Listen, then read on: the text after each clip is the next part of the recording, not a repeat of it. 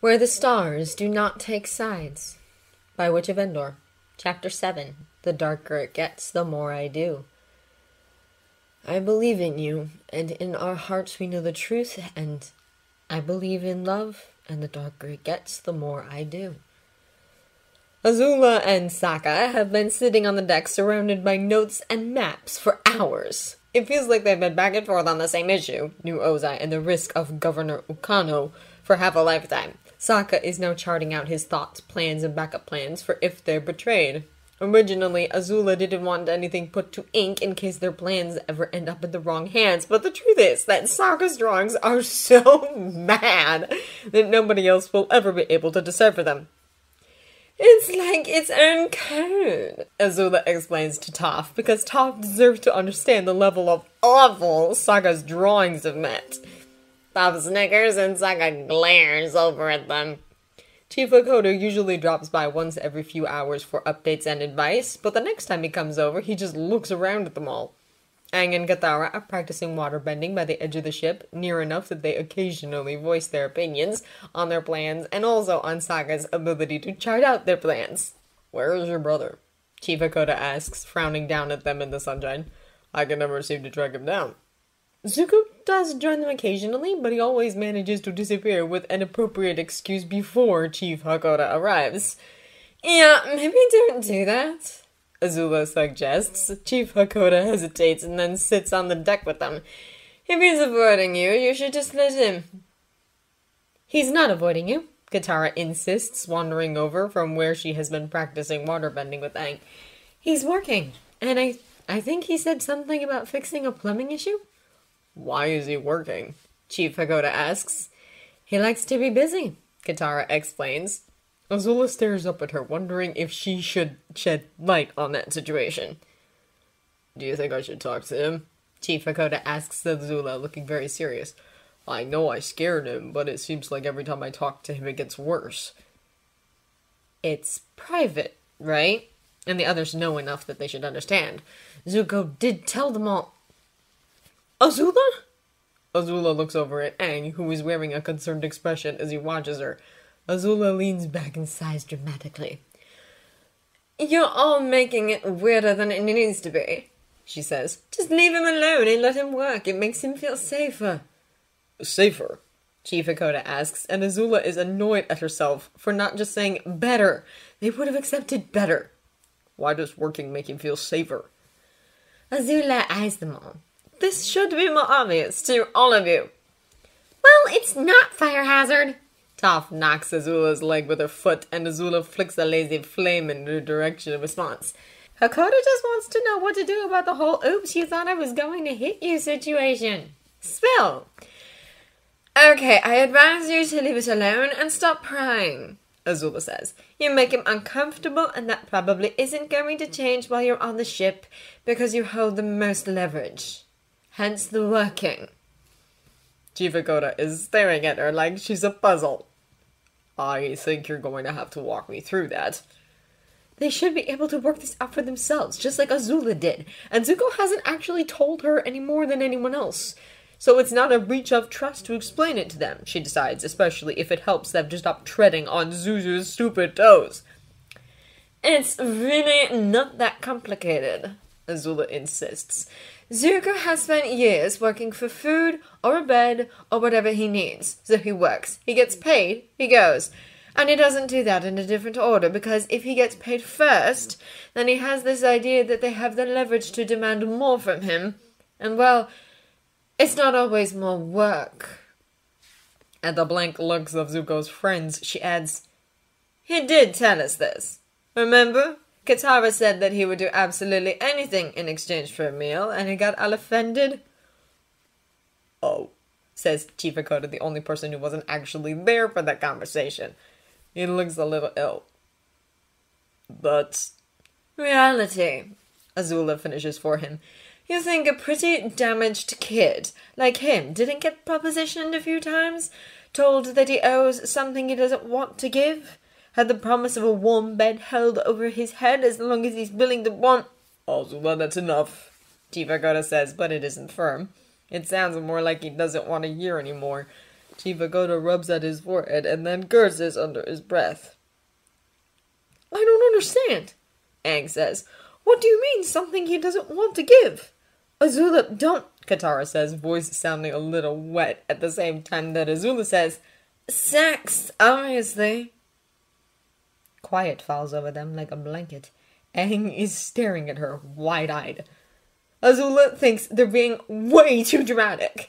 I'm not saying he did, Azula presses. I think he made it pretty clear that he would rather miss meals. I'm saying that he obviously has a thing about people holding leverage over him. So he'd rather work before being paid so that he understands the trade. But nobody told him what he's doing on the ship and he's eating and sleeping in a bed.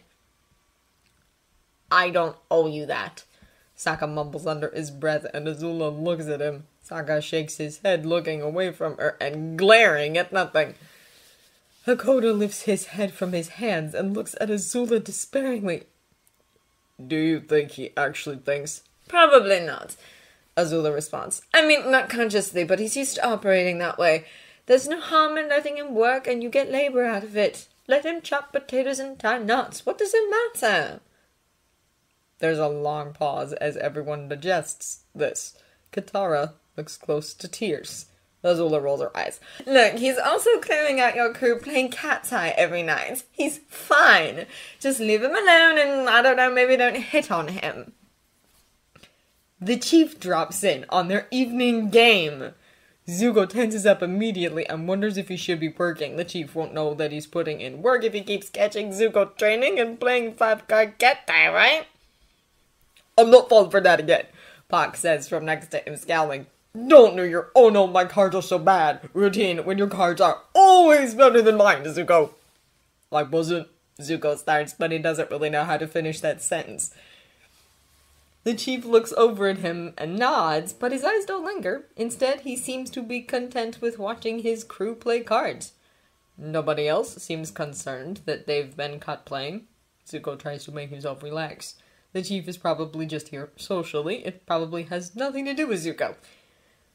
Zuko looks back to his cards and rethinks his strategy because it's clear that at least two of his opponents are waiting on a card that he's holding. If he shifts from the cat shark to the camel cat or the cataphant, then he doesn't lose out that much in terms of gameplay and he can hold both of them back from progressing. But Zuko isn't sure which to go for because he's been playing a different game thus far. Zuko takes a drink while he considers his options. What are you drinking? Chief Hakoda asks. Zuko hesitates for a moment, unhappy with the attention, and then looks down at his cup. He looks over to Pak. What am I drinking? He asks. As dragon fruit liquor. Pak explains, glaring at his own cards. He glances up at the chief. We cut it with watermelon juice, don't worry. We're not getting him drunk and taking all our money back. We're not taking all our money back at all, apparently. Amaruk growls. I have a mind to bang you! Sore loser, Pak snickers. The chief is frowning down at them. You shouldn't be giving him alcohol. He's too young to be drinking. Oh, come on, Chief is a prince. He was probably raised on plum wine, Pak insists. Plus, it actually hasn't affected his gameplay yet. So you are trying to get me drunk and take your money back? Zuko asks, abandoning a card he knows nobody wants. There's grumbling from around the table.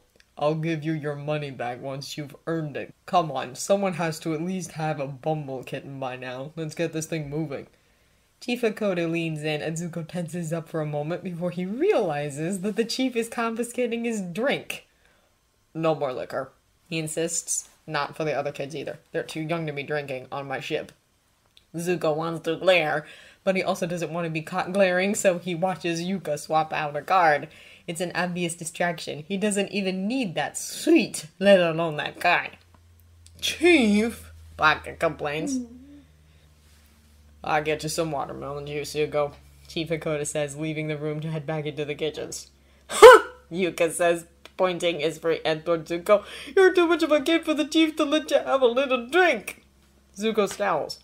Not too much of a kid to know that you're not getting that caterfly you're aiming for, Yuka. He says, the whole table lets out a quiet ooh, and Yuka looks furious. How do you know my hand? You are cheating! Paying attention to what you're throwing isn't cheating.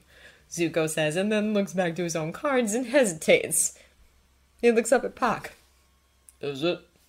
Pak shakes his head. You're impossible! Chief Hakoda returns with Zuko's new drink before long, and Zuko doesn't think that he should drink it, but he also thinks that the chief's reaction at being rebuffed might be worse than the risk. So he drinks, mourns that it doesn't taste as spicy without the dragon fruit liquor, and then returns to the game.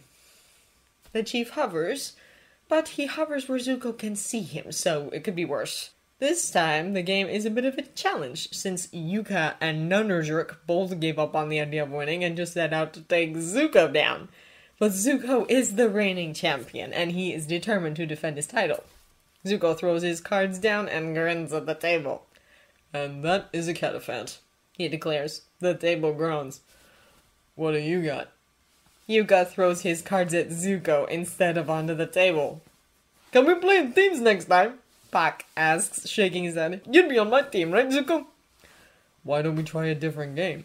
Zuko suggests. You could teach me something and earn some of your coins back. Boo! Amaruk responds. We don't stop until someone wipes the floor with this royal brat. Chief Hakoda straightens up. Are you done for the night, Zuko? He asks. I wanted to walk with you and have a conversation if you don't mind. Zuko minds a lot, but he thinks that if he insists on another game, the chief might just hover and make him too nervous to enjoy it anyway. He nods, giving up his space at the table. See you tomorrow night, kid, Yuka says, already dealing the next hand. Try hitting your head in training to give us a chance, okay? I'll do my best. Zuko replies and waves as he leaves the room. Chief Hakoda follows, putting space between them in the corridor. Zuko breathes through it and waits to hear what the chief wants. Zuko, he says, looking ahead instead of at Zuko. I wanted to apologize. Apologize? For what? Zuko asks, hoping that it isn't an apology in advance. Chief Hakoda shakes his head. I've been making you nervous and I can't figure out how to stop making you nervous. He admits, I just want you to know that you're safe here. The men like you. You've been helpful, and they like playing cards with you. My kids like you, and Toph and Aang. And you have your sister. Zuko isn't following at all. Okay. And I know we can't ever really be safe, Chief Hakoda adds. Not in a war like this, but nobody here is interested in hurting you. I just want to make sure that you know that. He glances at Zuko, barely turning his head. Everyone here wants you to be safe. Okay. Zuko repeats, slightly off balance. And if you want to keep working, well, it's appreciated, Hakoda adds. But it's not necessary. The other kids don't do much around the ship. You're all planning a war, after all. We're here to help you with that. You don't need to be here to help us with the ship. But, but if you want to, it's fine. I just want you to know that nobody expects it, and nobody is going to ask you to do anything to pay for your time here. Zuko stops walking for a moment, and Hakoda takes a few steps ahead before turning back with a light frown. Zuko swallows. I'm, um. Zuko starts. I'm sorry that I assumed you were going to hit Sokka. Chief Hakoda's expression softens. I'm sorry that you assumed that too, he says, but I understand why you would in your position. I wouldn't hurt Sokka or Katara, and I won't hurt you or your friends, or any kids at all.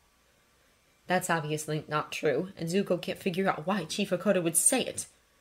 What if they deserved it? Children don't deserve pain, Chief Hakoda says, voice firm. Sometimes things hurt because they have to, like medicines can.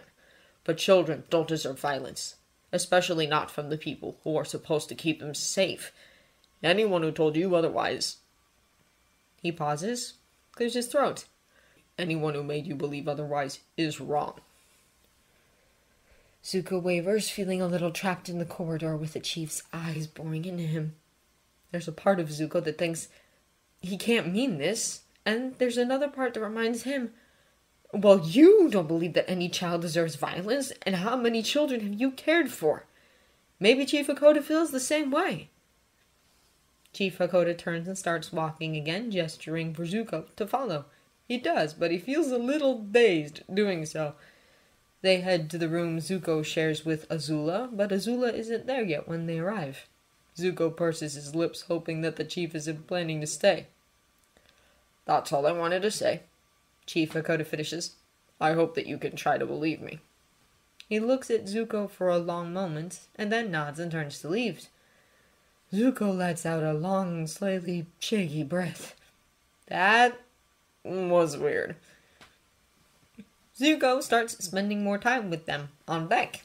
It's still mostly Sokka and Azula doing the planning, whether or not the group or Chief Hakoda or Hakoda second in command decide to get updates and offer help. But it's nice to have Zuko there, sitting in the sunshine, wearing Fire Nation reds with his hair up in a neat top knot. She won't admit it, but it's even kind of nice to see the twisting braid that Katara put there. Zuko wasn't wearing it loose and beaded in the Water Tribe style, and instead has it tucked up into his top knot, but when his hair catches the sun, it's a visible set of woven strands.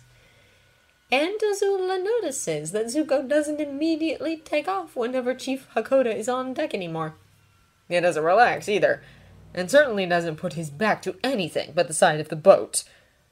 But there's a shift in the air, and for once, it isn't for the worse.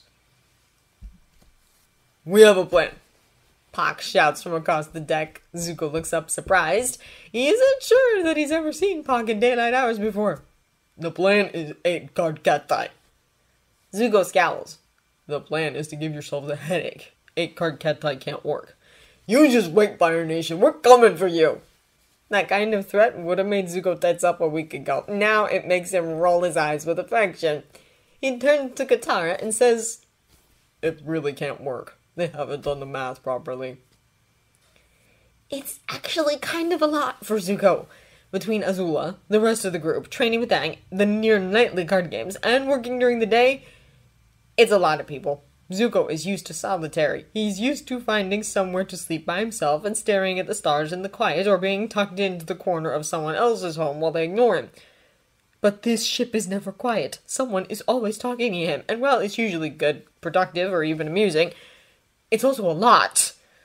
It ends up being too much late one afternoon, and all Zuko can think about is finding somewhere to be alone. But if he goes to the room he shares with Azula, someone might come looking for him, and there seem to be people everywhere else. Between working and playing cards, most of the crew know him at this point. Zuko feels a jolt of panic when he realizes that he can't escape. He can't be alone. And then he finds himself crawling into a space between boxes and pipes near the back of the ship. It's outside, but nobody can see him from this angle. He's cramped, stuck with his back pressed uncomfortably against the edge of a box but he's alone. He can still hear chatter, the noise of the ship, the crash of the waves. Zuko covers his ears and closes his eyes. He doesn't know how long he's there or whether he maybe falls asleep, but when he feels like he's come back to himself, it's dark. Zuko breathes deeply and steadily and calls a flame to his hand for a few moments of meditation. It helps him feel more steady in his body and less like he's floating away somewhere on the waves. He doesn't want anyone to think that he's ungrateful. This might be the best his life has ever been or ever will be. But it's just also a lot. The sky continues to get darker, and Zuko finds himself slowly relaxing. And then he hears footsteps by his hiding place and a pause, and then a hesitant Zuko? Zuko puts the flame out, realizing that it's given him away. Hi, Sokka. Sokka's face appears between two pipes. Hey, I was looking for you. I brought you some dinner. When you didn't turn up, I assumed you were working. Zuko tenses and Sokka seems to notice because he adds, Not because I think you should be working, just because that's where you tend to disappear to. Zuko waits a moment and then nods. Thank you. Should I leave it with you? Sokka asks, raising the plate. Do you want to be alone? and Zuko finds himself suddenly crushingly grateful that Sokka had known noticed that and wants to respect it. But he's also been alone for hours now and thinks that he might be ready for some company. No, it's. I did need to be alone, but I think I'm okay now. Sokka looks at him for a long moment and then smiles and nods. Great, he says, and Zuko is readying himself to stand and leave his hiding place, but before he gets a chance, Sokka is climbing in. Oh, wow, you found the smallest place on the whole ship, huh? Zuko shifts and Sokka places the plate and cup of water on a low box next to him before sitting in the only spare inches of space available. They can't avoid touching like this, and their legs end up a little tangled, but it's kind of comfortable. So, guess what? Sokka asks as Zuko picks up his plate. Your psycho sister finally admitted that my plan is good. We're en route to meet with two of the Dai Li now. It looks like the day after tomorrow, we'll have to leave the warriors behind because we don't want word getting out about how we're disguising ourselves. Zuko lets Sokka update him and listens, nodding as he eats. There's something comforting about hearing Sokka make plans because Sokka's mind is wonderful, but it's also a little overwhelming after hours without any words.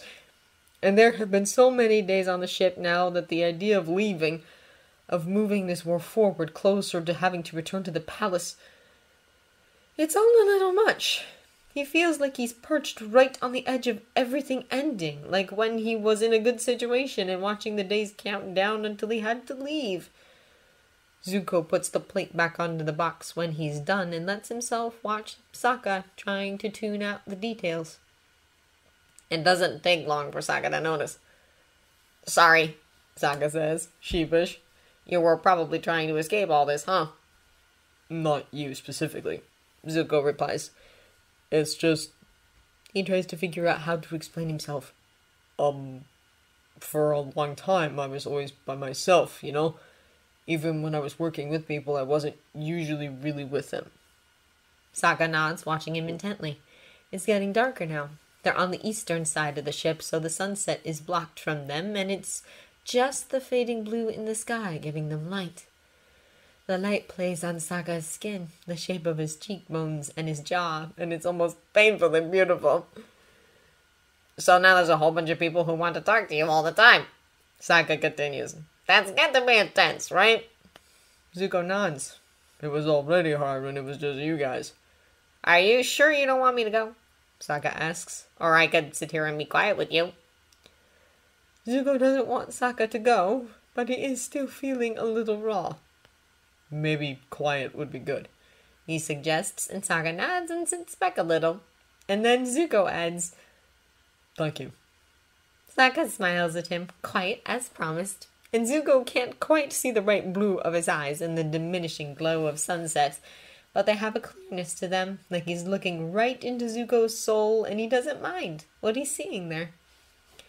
Zuko reaches out, planning to touch Sokka's arm in another silent moment of thanks. The others do this sometimes, use physical contact instead of words, and Zuko was starting to get used to it, starting to understand its significance. But he misses and doesn't realize until his fingers land on skin instead of cloth. He wavers for a moment, unsure of whether he should pull back, and then Sokka turns his hand over and slots their fingers together. Something in Zuko relaxes in the quiet. And part of him says, Stop throwing yourself at someone who doesn't want you, idiot! But another part of him is content to just be here right now because he'd somehow never known just how good it can feel to touch Sokka's hand. And he doesn't want the moment to end. They sit there for a long time, skin against skin, cramped into a tiny hiding place, resting in the quiet. But eventually they have to retire, and Zuko's legs are starting to ache anyway. Saka doesn't let go of his hand when he stands, uses it instead to help Zuko to his feet. And then they're standing between boxes and pipes, and there isn't really any room to not be close, and. And Zuko meets Sokka's eyes. They're of a height, and it's obvious this close. It's gotten darker again, and Zuko can almost feel Sokka more than he can see him. Zuko swallows, and he can feel Sokka's breath. They are just so close. But last time this happened, Sokka pushed him away and wiped at his mouth. Zuko clearly can't read whether or not Sokka wants this. Hat thought he wanted Zuko when he maybe kind of did. Assumed he wanted Zuko when he was disgusted by the idea. So he stays very still, and he looks at Sokka, and he wills Sokka to make himself clear somehow. Sokka stares back at him just as unmoving. His eyes flicker away from Zuko's, but only to sweep over Zuko's face before returning. Zuko can feel his own heartbeat heavy and quick in his chest, and they're so close that he wonders if Sokka can feel it too. Their hands are still together, Zuko realizes. Their fingers are still wound. Sokka's skin is warm and soft. Zuko finds himself tightening his grip a touch, and Sokka draws a small breath at that and wavers forward. There's barely any space between them. If Zuko presses forward just slightly, tilts his head just a little, they'll be kissing. But he waits for Sokka, and for a moment he's sure that he knows what's about to happen. And then Sokka blinks, and his eyebrows pull in a little, and then he's pulling away. Sokka's hand drops from Zuko's. Well, Zuko thinks that answers that question. Azula is brushing her hair when her brother turns up, apparently having been walked to their room by Sokka. Azula sighs internally, already halfway through making plans about the legal ramifications of that mess. Maybe she can spin that a royal union between the Fire Nation and the Water Tribes can be used as a sign of goodwill between the peoples? Finally, Azula grumbles. I'm taking first watch. Azula always takes first watch because she can't trust Zuko to sleep otherwise. The idiot would guard her all night if given half a chance. Sokka frowns at her and then at Zuko. First watch? What, you've forgotten how watches work? Azula asks, retying her hair. I take first, he takes second. I beat him up on deck in the morning. Yeah, but Sokka looks from her to Zuko again, and there's some awkward tension there that Azula isn't poking with a 10 foot pole unless it proves to be amusing to do so. Why is anyone taking watches at all? You know we have people guarding the ship in case anything happens, right? There's a long pause. Azula waits for recognition to dawn on Sokka's face because it's obvious why they're taking watches. But it never comes. Uh, Zuko says, rubbing the back of his neck. We're sort of just guarding ourselves. This room, I mean. Then Sokka's expression changes. He goes from confused to offended to a little sad. You two still think you're not safe here.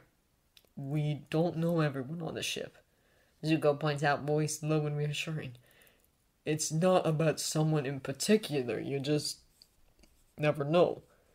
She notes that the pair of them aren't quite meeting one another's eyes. Maybe it would be fun to poke that tension. Sokka's face has solidified into determination. Okay, he says, so let me have first watch. Azula and Zuko rise with the sun. Katara is outside their bedroom door. That was underhanded, Azula says to Katara, who only smiles back at her. When Azula reestablishes contact with the Dai Li, she has her own small army of children. They are, however, possibly the most dangerous children in the world. Sokka insists that they arrive hours early and scope out the entire plain. There will be no room for hiding unless it is created. The water is to their backs, and Appa is nowhere in sight, but Sokka is armed with a bison whistle should they need it. Zuko stands to her right, swords drawn. Chief Hakoda does not like this plan. It has taken a lot of time and determination to get it past him, but Azula has reminded him firmly on multiple occasions that this is ultimately her war. He gets this look on his face whenever she says it, a little sad and strained. Two Dai Li agents approach exactly as planned. It turns out that they didn't need to be quite so concerned about being betrayed, but Azula thinks it's good practice anyway. Ba Sing Se is Azula's. We can't use the whole army, Sokka admits later when they're back on the ship. We can, Azula contradicts him and then shrugs. But we shouldn't, I agree. There's too much room for news getting out, too many informants, too much possibility of an internal conflict. But we have the agents, and we can use them for the battle or for a distraction. Sokka is leaning over a map when Azula catches her brother watching him from across the deck, where he's knotting ropes for some mysterious ship related reason that Azula doesn't care to know about. Azula almost glares at him because there are so many political ramifications, which nobody but Azula seems to care about, but that's before she realizes that her brother mostly just looks sad sad and wistful and resigned, and Azula doesn't like that expression at all. So, how exactly did you upset Zuzu? Azula asks casually. Sokka hesitates and then looks over to where Zuko is working. Zuko starts and turns away. Sokka's jaw tightens. I, um, I didn't mean to. Azula feels her own expression settling into something dangerous. Talk. I might have almost kissed him a few nights ago. Sokka admits head ducked and cheeks dusted with pink. But I didn't. But I'm pretty sure he knows that I was thinking about it, and now things are weird. Azula sits back and frowns at him. Huh. I thought we had a few more weeks of you two dancing around each other. Sokka looks up. What do you mean? Azula gives him a flat look. I am not spelling this out for you if you haven't figured it out yet, she says, annoyed. But whatever is happening, if you could stop making him look like a kicked turtle duck, that would be great. You're such a soft. Ow! Sokka rubs his forehead, smoothing out the crescent shapes from her nails digging in him. Okay, you're also sharp, he admits, like a hedge kitten. Ow! Azula! Katara shouts from across the deck. Please don't leave any permanent damage on my brother. Sokka shakes his head. Why are all the girls I know terrifying? Zuko is looking over again. He's too far away to listen in on their conversation, even with his above average hearing, but Azula waits until he looks away. So, what happened? She demands. Sokka frowns, still rubbing at his arm. I told you. When Azula only raises her eyebrows, he says, I almost kissed him. Is that a bad thing? Azula asks. Are you really bad at it? Sokka screws up his nose at her, and then his expression turns confused. No, you. You said not to do that. But I already did before, when he was Lee, and it obviously screwed everything up, and he said he didn't owe me that, and then I tried to do it again, like an idiot, even though you already told us all why it's a bad idea. Okay, slow down, idiot. Azula interrupts. Start from the beginning. Sokka starts from the beginning. From the actual beginning, when they met, apparently Zuko used to fight wearing a theater mask, which Azula files away for mocking him later. And Sokka tells the longest, stupidest story, and by the end of it, Azula has heard a lot about how smart and kind her brother is and what he looks like shirtless, and she just about wants to throw up. When Sokka is done talking, he looks so miserable that it's hardly even funny. After a long pause, Azula states, That was the stupidest story I've ever heard. Sokka doesn't attempt to contradict her. I won't do it again, he promises. I'm sorry. I was listening to you before. I just got caught up in the moment. You got cut up because he was holding your hand, Azula points out, and giving you pretty clear go ahead and ravish me signals. Sokka winces. But you said, I stick by what I said because what I said was that your dad shouldn't hit on him. What? Ew, Azula! Azula holds her hands up. Chief Hakoda wanted to know how to make him relax, and not hitting on him is step one. It was good advice.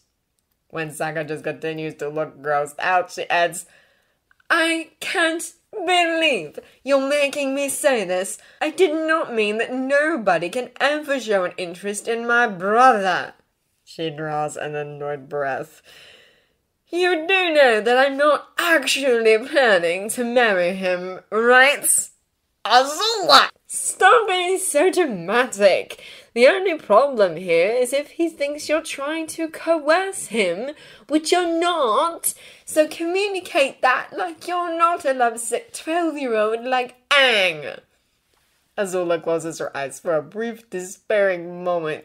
Please don't be as stupid as Aang. I can't take that. And if I throw myself overboard, you'll have to force Zuzu onto the throne after all. When she opens her eyes, Sokka looks hesitant. But I. He starts and then stops and frowns. I told you what he said that first time about not owing me that. Azula tilts her head in acknowledgement. You don't think he's still. Okay, I've reached capacity, Azula states. If you want to know what he thinks, talk to him about it, not me. With me, you talk about war, not boys. War, not boys. Sokka repeats, looking a little dazed. So, new Ozai, Azula prompts him. Sokka never quite gets his head back in the game that afternoon. They end up flying Appa most of the way to New Ozai with plans in place for meeting up with the Water Tribe afterwards. Meeting with the leadership here is a trickier maneuver because Azula and Sokka decided that surprise is better than planning in this case, since they're more likely to sell the group out. This way they have to worry about escape, but not about a planned ambush. Plus, Mai is in New Ozai, and Azula has reason to believe that Ty Lee is with her, so they already have help escaping if they need it. Of course, things go pear shaped, as they tend to. Azula should have known that Ba Sing Se was too simple. It's fine, we go off track all the time. Sokka tells Azula, who does not appreciate this reassurance at all, especially from her strategist. Well, well, well, The creepy voice of the former king calls out from his case. if it isn't two groups converged into one. He laughs, and Azula glares. Bumi! Aang greets him looking thrilled. I'm so glad that you're okay! King Bumi is Aang Aang. I see that you have found a firebending master. He says, and then keeps looking at the group. Or two, and an earthbending master too. I have heard whispers that the Avatar is nearing full strength. He has a long way to go to full strength, Azula insists, and she means it as an insult, but Aang beams at her nonetheless. King Bumi looks to Azula again. Ah, I believe I have a message for you, Princess Azula, from an old friend of mine and an old nuisance of yours. He laughs at himself again. Was this guy always this crazy, or is it the imprisonment? Toph asks from next to her. Azula sighs. Unfortunately, he was always like this. I believe it's time for my escape so that I can aid you in finding the White Lotus. And that changes everything. Zuko steps forward. What do you know about the White Lotus? He asks. Our uncle told us to find it, but he didn't tell us what it is.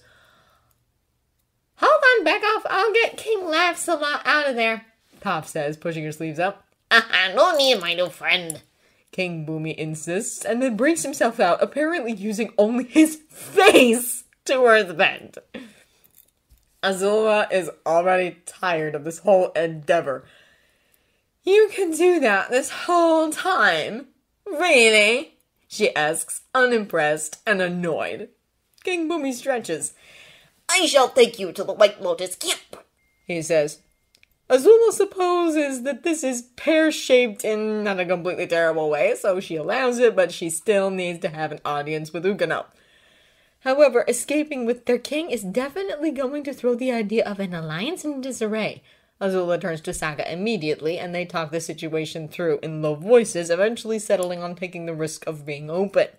They have Toph with them to act as a lie detector, and between them, they have the means for escape if it becomes necessary.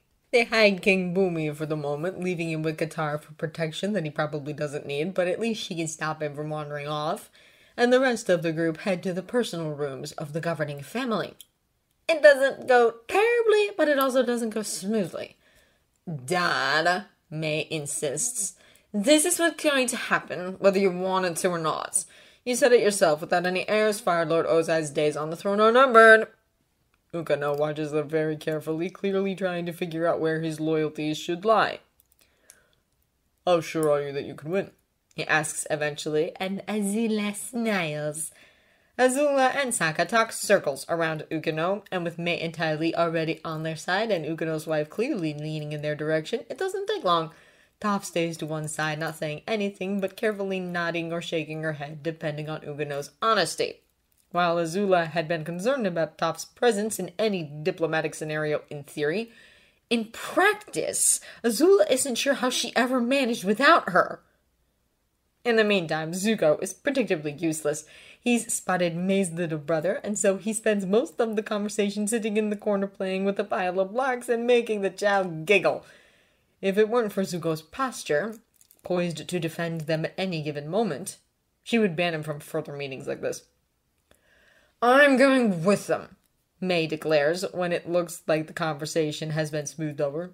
Ukano is not happy about this, but Mai is decisive and Ty Lee follows her with a wide-eyed expression. When Ty Lee is close enough, she reaches out to squeeze Azula's hand in the greeting she hasn't been able to give. Nobody needs to know that I'm gone. Just say that I'm not feeling great. Nobody needs to know about the king either. Sokka reassures Ukano, which then turns into its own thing. In the midst of arguing about whether or not Azula can take King Bumi and Ukano's daughter, Azula catches Sokka watching Zuko and Tom Tom. The child is trying to climb Zuko, who is being surprisingly lenient about this turn of events, smiling softly and offering some basic support. Sokka's expression is even stupider than it usually is when he looks at Zuko, and, well, at least it looks like Sokka won't stand in the way of Zuzu's dream to raise an heir and a few spares. The conclusion is that Ukano can't stop them from taking mate Ty Lee and King Bumi, and Ukano is sufficiently convinced that Azula will inevitably win this war that he declares himself an ally. Toph signs off on this, and they share a very vague outline of the plan for war and communication. It's a victory in the end, but one that weighs Appa down and makes him slow. Zuko worries about Appa, who needs to rest, and about Chief Hakoda, who will be expecting them back on the ship much earlier than they will arrive. Appa flies, fortunately, but he's clearly not too happy about it. It's not even like they're very heavy, Azula grumbles, eyeing King Bumi. Mai shrugs. I don't know. I have a lot of knives. Ty Lee finally gives up on hugging Azula and rambling about how happy she is to see her and launches herself across the saddle to Zuko. Zuko freezes, caught off guard, and holds still as he is embraced.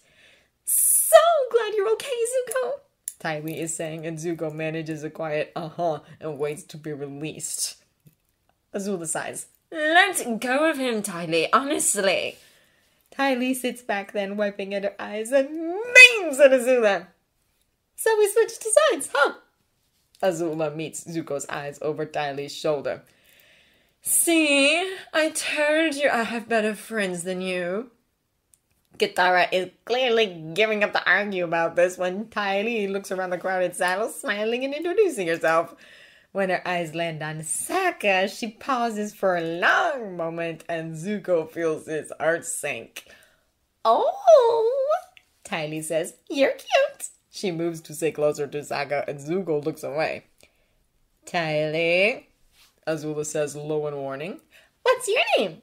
Ty Lee asks. Zuko tries to tune them out, watching the horizon and breathing evenly. It's none of his business. He reminds himself this has nothing to do with him.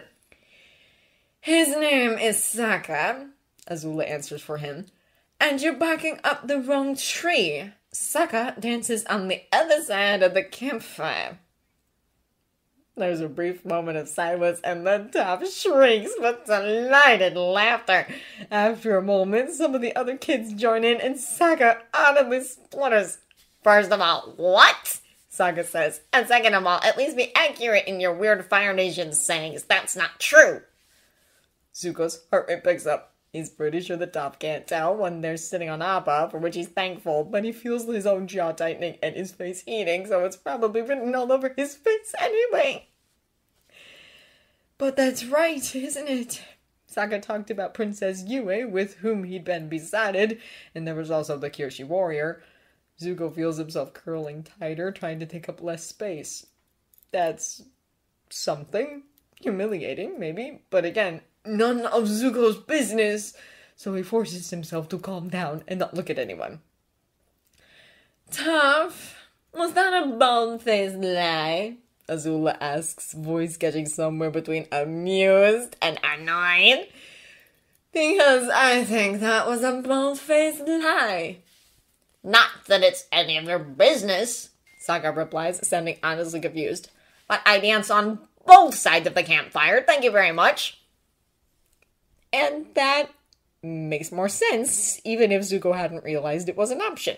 Zuko doesn't relax much, but it's at least good to know that once wanting to kiss him isn't being written off entirely as an experience. What? Ty Lee asks, and her voice is filled with wonder. You can like both? Why did nobody tell me you can like both? I'm guessing because it's illegal in the Fire Nation anyway. Mai replies. What? Sokka asks, and this time he sounds a little panicked. What do you mean illegal? It's Azula's turn to sigh. Don't get your wolf tail in a twist, Sokka. I'm going to overturn that when I'm Fire Lord. I think maybe I like both too. Lee declares, and then Zuko does turn to look at her because she's kind of his childhood friend, and that's kind of a big deal. Zuko leans forward and touches her arm just for a moment and hopes that he's doing the contact instead of words thing correctly. Lee beams at him. By the time they arrive back on the ship, it's obvious that Chief Hakoda has been metaphorically, and possibly literally, biting his nails. His children run into his arms and he smiles across at the rest of the group and then hesitates. Well, you told me we might get two more Fire Nation girls, but you seem to have an addition again. King Bumi laughs loudly. The group gets to work on planning. The bison needs to rest before they go anywhere, and the bison won't be able to take the whole group to the camp. They will need to leave some people behind to arrive with the Water Tribe warriors. It's annoying to have to lose Mai and Ty Lee so quickly after regaining them, but it won't take long to be reunited, and they can look after one another on the way. It takes Azula a few moments to realize that Zuko has frozen by her side. When she looks over at him, it's to find him looking back at her with wide eyes. Azula frowns and tilts her head in question, and Zuko takes a deep breath and says quietly and very carefully, I would prefer not to be separated. Azula waits for understanding to dawn, but it doesn't come. To be separated from whom? She asks, and then thinks through the people he likes on the ship. Presumably, he's not as anxious about losing his card game buddies. Chief Hakoda. What?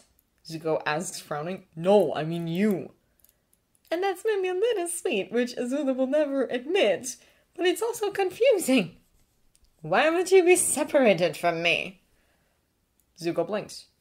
Because you're leaving some people behind. Azula looks to the heavens. You're not one of those people, dummy, she states. You go where I go, obviously. Oh, Zuko replies and then visibly relaxes. Okay. Why would you even think otherwise? Zuko shrugs. I'm not as necessary as the others, he says, like it's obvious. You're generally useless, yes. Azula replies, trying to keep the irritation she's feeling out of her voice because she can't be the one to tell him that he's important. But nobody else is listening closely enough to know that they should say it. Ah! But you're not specifically useless. Azula isn't sure that makes sense, and Zuko doesn't look like he thinks it makes sense either. But it will have to do. Zuko isn't getting any more out of her.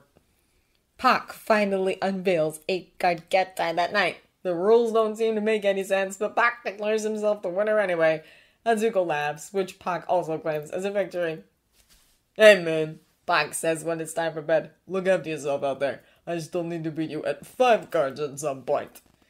Zuko holds himself back from smiling, and then he stops holding himself back. Chief Hakoda is weird about them all leaving again. Azula stands to one side with Zuko and says goodbye to Mai and Ty Lee, but she has half an eye on the chief. He hugs his children no less than twice, and also hugs Toph and Aang, and then claps King Bumi on the shoulder while having what looks like a very serious conversation. She even sees him pat Momo and Appa. So it's obvious what is coming next. Azula shifts closer to Zuko because she's almost completely certain that he will have an actual heart attack if Chief Hakoda tries to hug him. He looked spooked enough by Ty Lee yesterday, and Ty Lee has probably hugged him more than anyone aside from Mother. When Chief Hakoda approaches them, pulling their attention away from the Fire Nation girls, Azula levels him with a stare. Hopefully, I'll see you again in a few days, Chief Hakoda says, looking serious. But this is wartime. We can't predict what will happen.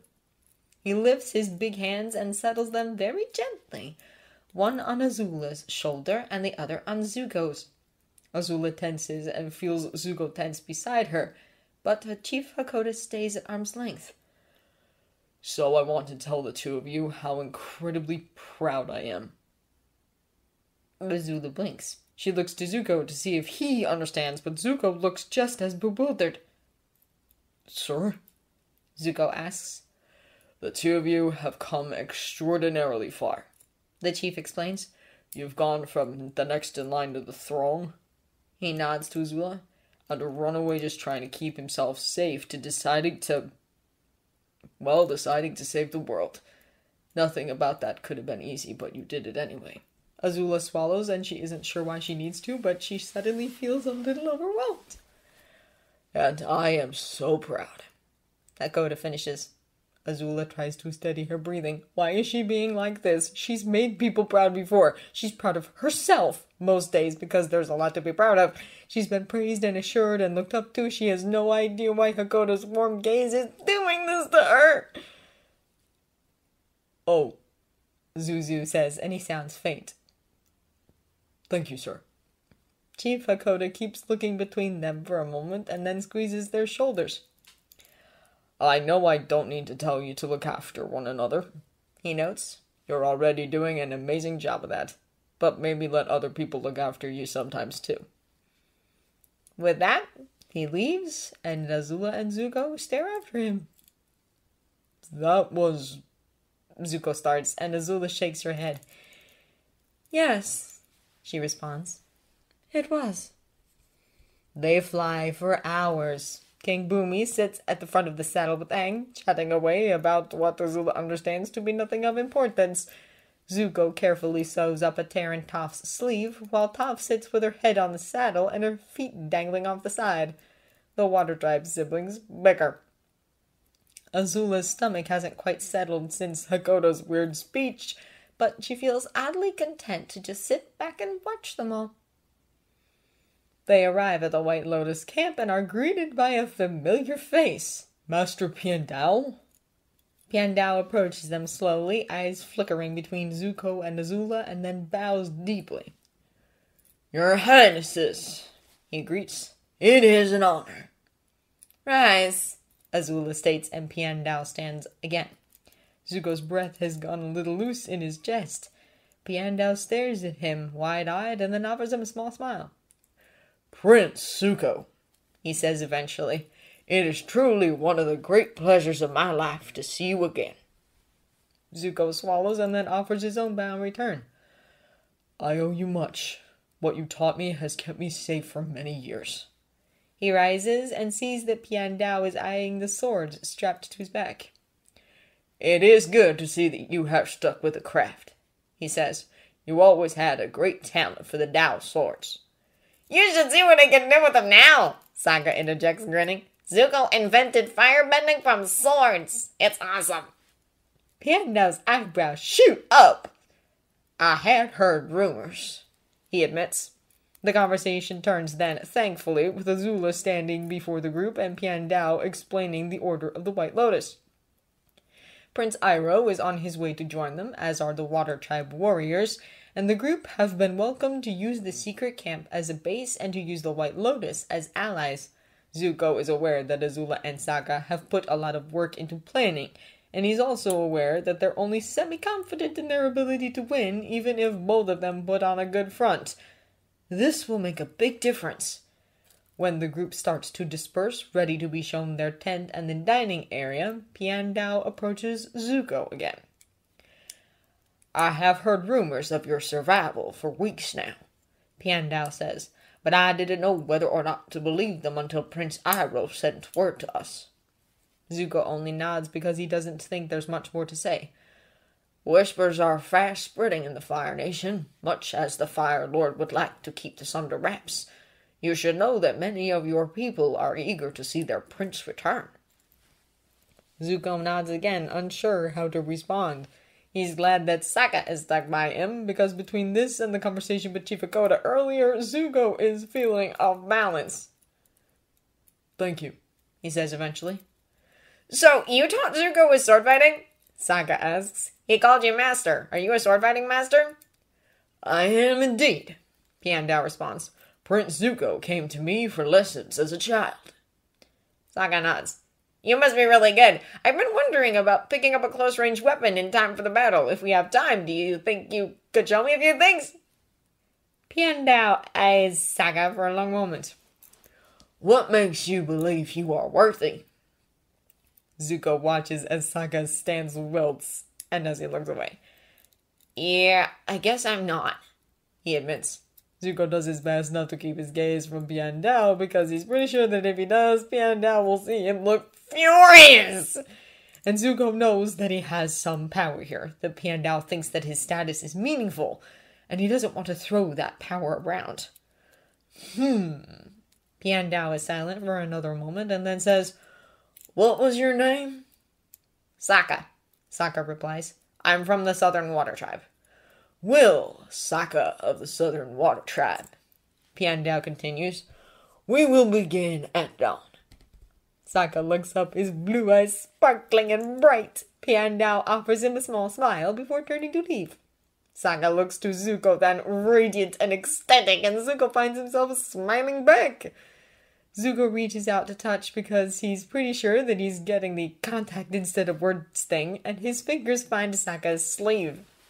Sokka turns his hand and grasps Zuko's, and the two of them stand there together for a long moment. Azula is pleased with this turn of events up to their first attempt at a meeting. There are a half dozen members of the Order of the White Lotus, all aged men, and it becomes quickly apparent that they aren't comfortable with Azula's allies. I mean no offense, one of the men states, but it is most unusual to have children in a war council. Azula looks up and she knows her eyes are flashing. Excuse me? Princess, of course you must remain. It is, after all, your war council. Another member corrects. But perhaps the other children can retire for the night. In the corner of her eye, Azula can see Katara gearing up to shout. Azula holds up a hand, trying to hold her off, and Katara hesitates. Azula stands.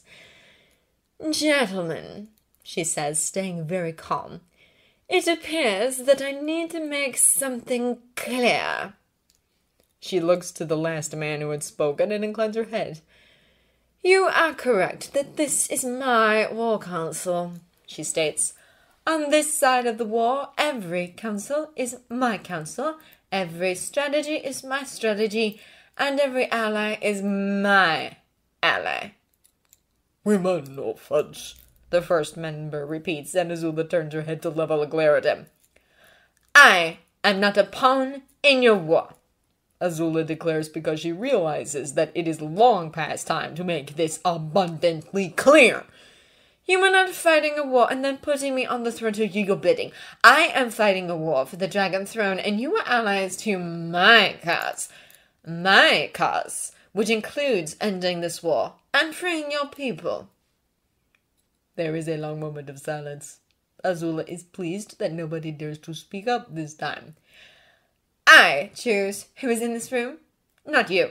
And before you deem this simply the whim of the next Fire Lord, I will remind you of who the children are that you are insinuating do not belong here.